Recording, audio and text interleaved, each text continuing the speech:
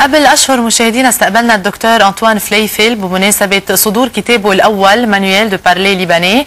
واليوم نحن رح نحكي نحن ودكتور فليفل عن كتابه الثاني Exercices de parler libanais أو تمارين على التحدث باللبنانية. خلينا نستقبل دكتور فليفل سوا.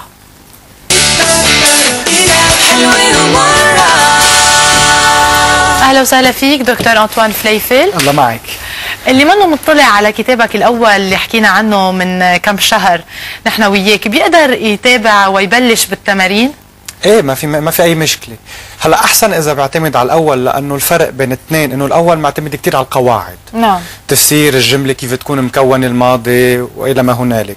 أما الثاني فهو تمارين تطبيقية بتعتمد أكثر شيء على الحث يعني قراءة نص نص آه، بحط كثير أمثلة لبنانية مثلا دق المي مي أو مثلا نصوص وفي فراغ لازم يعبوا الفراغ.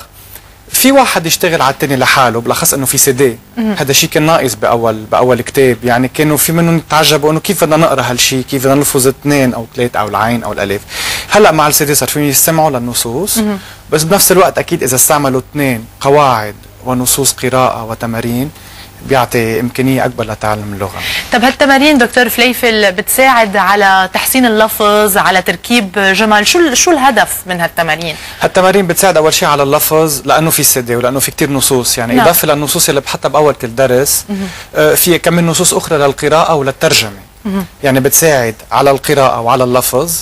من مساعدة السي وتاني شيء بتساعد على الحس اللغة. يعني واحد ما بقى يفكر كتير بالقواعد لأنه بأول كتاب هيدي كيف بدي أعربها هيدي كيف بدي طبقها بصير لا لا هيدا يمكن هو يمكن أنا بدنا بدكم.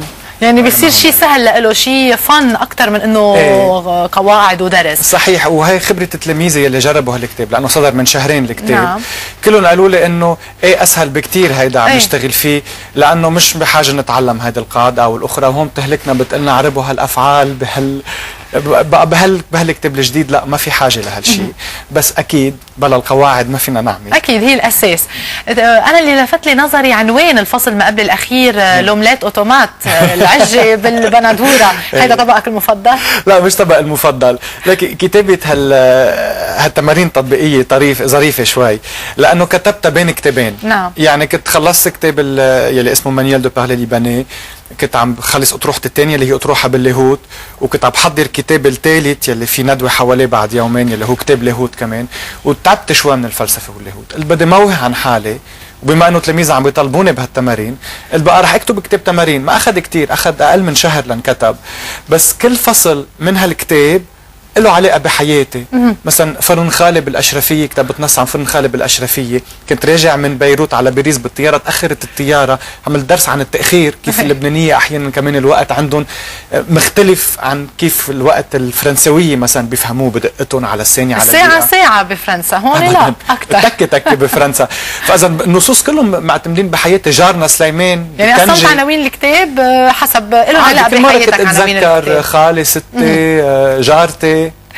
وبالتمارين يلي آه، عم عم تكتب فيه عم تكتب عنها لمين تتوجه؟ لأي فئة عمرية؟ آه، موجه للراشدين. يعني صعب شوي الأطفال يبلشوا فيه لأنه يعني تقريبا إذا نحكي أعمار. يعني فينا نبلش 18 سنة 16 17 سنة يعني أو 18 علما إنه أغلبية التلاميذ اللي عندي هن بفرنسا أعمارهم تتراوح بين ال 20 وال 70 طب هون بدي اسالك دكتور فليفل قد إيه آه، ابن ال 50 وال 70 سنة ممكن تهمه مواضيع بتهم ابن 18 سنة أو 16 سنة؟ هي مش قصة مواضيع يعني أنا من خلال اللغة ومن خلال القواعد والنصوص عم جرب مري حضارة وثقافة.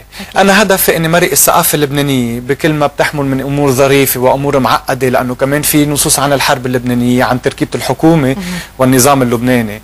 بجرب مري هال هالحضارة وهال وهالواقع والسياق اللبناني. هلأ كل واحد بيفهمه على طريقته. يعني هلأ بس يصير حدث بلبنان الشاب بيفهموا شيء يلي أقل شبابا بيفهموا بشكل مختلف.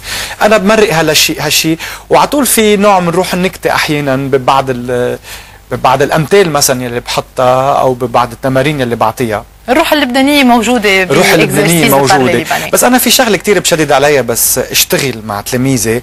بشدد على اللبناني. يعني نحن معودين هون بلبنان بس نحكي جملة نخلط شوية نعم. فرنساوي شوية إنجليزي بين ciao وال bye وال hi وال thanks.